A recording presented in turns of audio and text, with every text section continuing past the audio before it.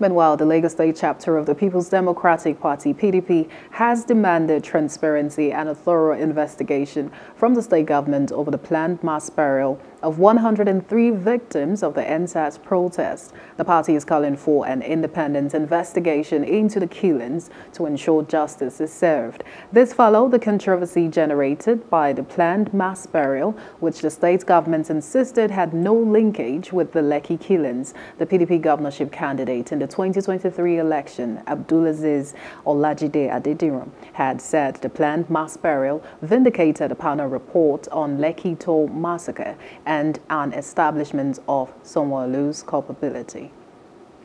Hello, hope you enjoyed the news. Please do subscribe to our YouTube channel and don't forget to hit the notification button so you get notified about fresh news updates.